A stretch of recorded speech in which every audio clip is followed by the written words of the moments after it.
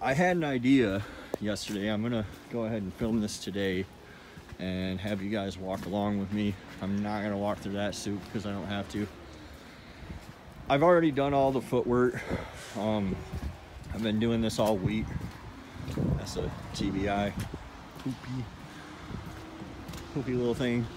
Um, so I've been doing the legwork on this all week because I'm here at and Save in Mason, Michigan, and uh, they usually have quite a few Chevy trucks out here. There's one that I got. I don't remember what I took off that. I took something off of it. It's a Gen 353. Um, this is a flex fuel 5.3 in the Suburban. I've already looked at all this stuff. Um, I was thinking I, I need an engine for my wife's car, and I've been considering, you know, different things I could do. I, have seriously considered a diesel swap. I've seriously considered finding a 455 for it. Um, I've seriously considered quite a few things, and, and it comes down, like always, to money. For me, in my life, money is a thing. You know, you always get these people who are like, let's build a 6.2 and put two turbos on it. And well, for me, money's a thing. Um, so I have to do what's cost effective, and, and what's cost effective isn't necessarily what's great.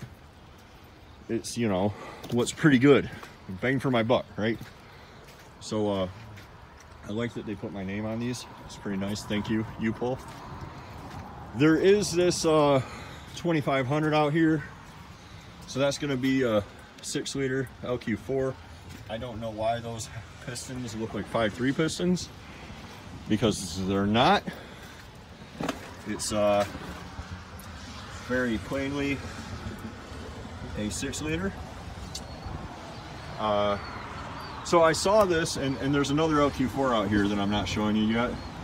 But uh, I saw this and I'm like, man, that's a bummer.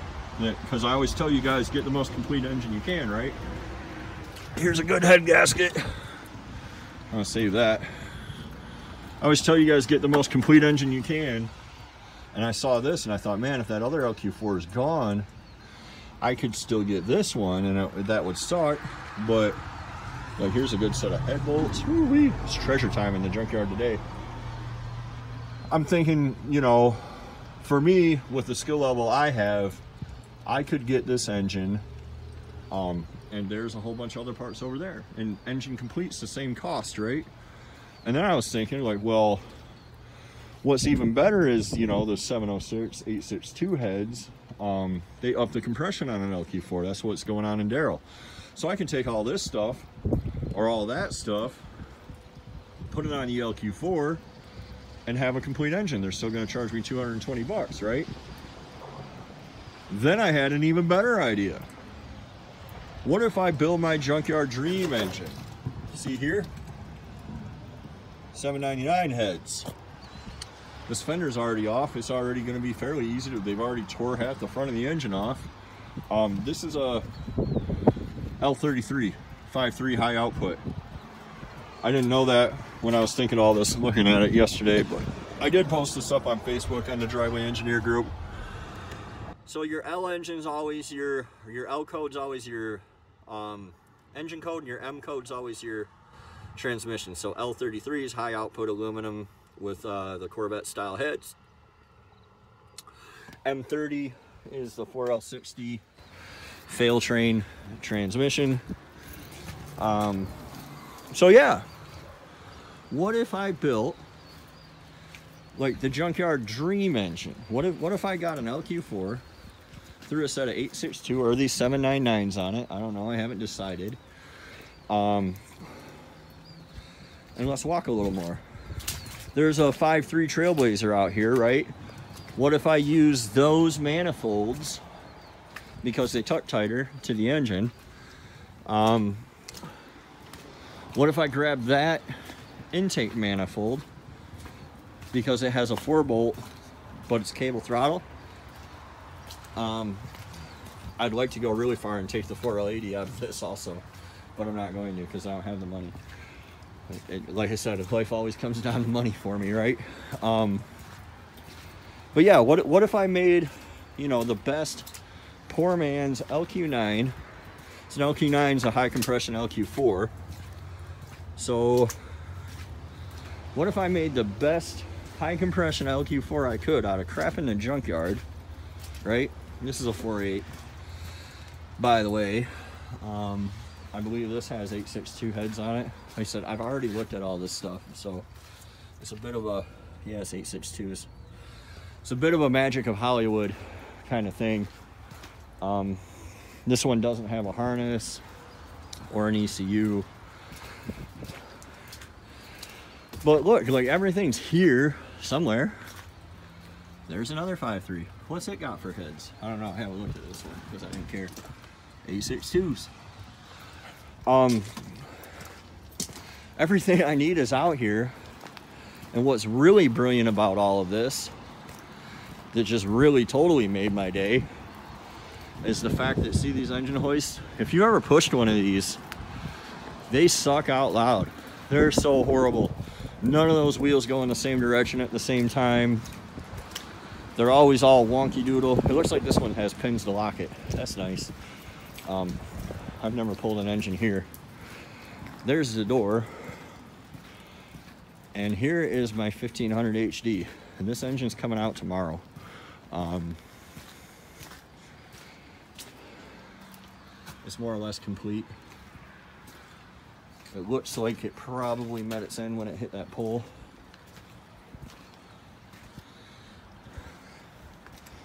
Um, cable drive, it, it's pretty complete. The bag didn't even deploy. Somebody came in here and got the dash. Um, so I'm thinking what I'm gonna do for you guys, my viewers, and you share with your friends, is I get pretty tired. This is a 5.3 and a Trailblazer. I think this is an LH6. I might be wrong. The glove box is open because like I said, I already did all this. LM4. Okay, so this is an LM4. Like I said, this one's gonna have Oh no, that one has a three bolt intake, but it does have the the, the exhaust manifolds that tuck tighter, um, making it better for a swap. I'll find a truck to get in or something. The people I work with are pretty used to me showing up like all muddy and covered in dirt and smelling like raccoon pee, but try to be somewhat reasonable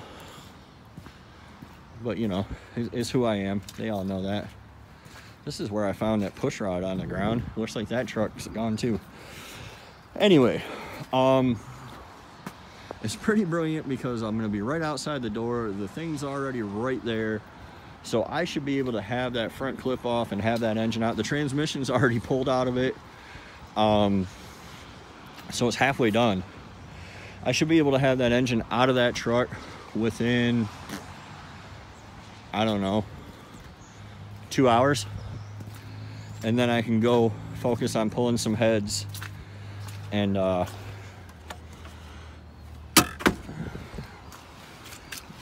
go from there. That is soaking wet. Wish I hadn't done that. Uh, thanks, Astrovan. So yeah, I mean, let me get, let, let me know what you guys think. I I want to do a realistic build and I want to show what people can realistically make and for a realistic budget, okay? So that means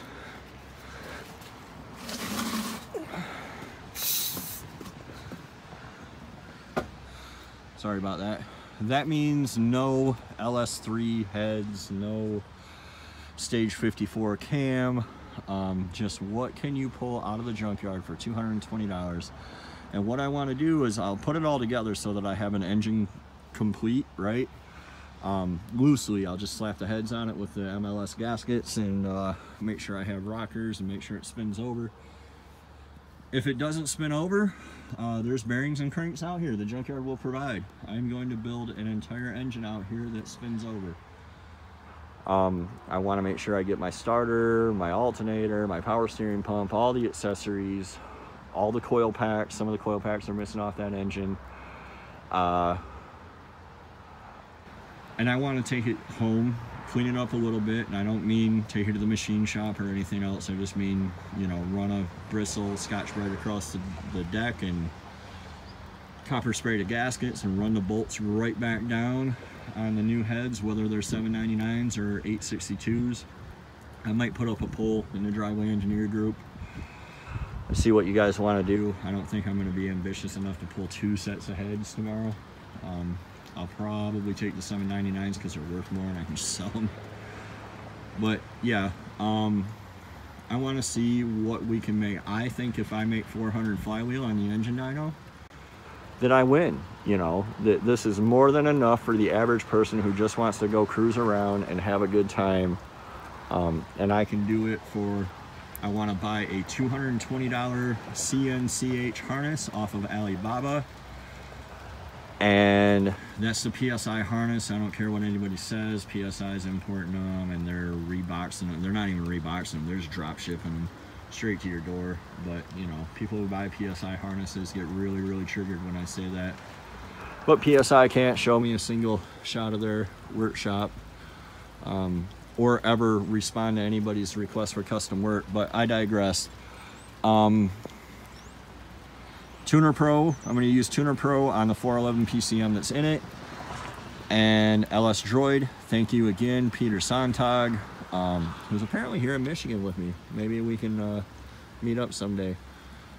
But anyway, uh, yeah, I want to do this the driveway style, skip everything as cheap as possible, verify that it cranks over, that's all I'm going for.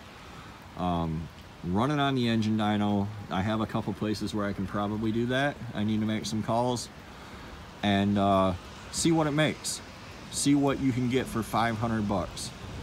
So I think if I made 375, 400 flywheel with, with trash off the ground at the junkyard, you know, then why are people spending thousands and thousands and thousands? Um, ultimately, I am going to jam a cam in it before it goes into my wife's car, probably the Summit 8718 which is their low lift, high torque. You know, it's an improvement over stock, but it's not going to set the world on fire. Cam, but it's an Olds 98, and she's going to have a stock converter, and she's just going to cruise around and maybe pull a small trailer with it. So, you know, it is what it is. But I want to see what we can make. Um, you guys let me know your thoughts in the comments, or I actually have a community post on, on YouTube that a lot of you are responding to, or if you're in the Facebook group, um, the driveway engineer facebook group you can let me know there. There's an announcement up.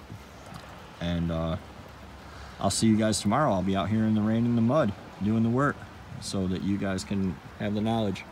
I want to stay humble always and you know this is what it's about for me. Like enjoying a hobby cheap doing a burnout having a good time making cool sounds. I'm not trying to race I'm not doing the flying mile. I, I, I'm not going to SEMA. I don't have customers. I'm just a guy trying to have a good time and not spend all my family's money on it. So I think a lot of you are the same, and I think that's why I've gained so many subscribers recently. But I appreciate all of you for watching, and uh, I'm sorry I've rambled a bit here. I, I'm pretty excited to do this project. I hope you guys are excited to see it because it's been my experience that when I do these kind of technical things, people don't really tune in. It's more for controversy that they want to, you know, I say 4L60 start, I get 20,000 views in a week. But anyway, I've rambled enough, taken up enough of your time. You guys have a good day. I have a day off tomorrow, so hopefully it continues raining like this all day to keep people away from all my treasures so I can show up at 9 sharp tomorrow and pull them. And uh, I thank all you guys for watching. So we'll see you next time on The Driveway Engineer.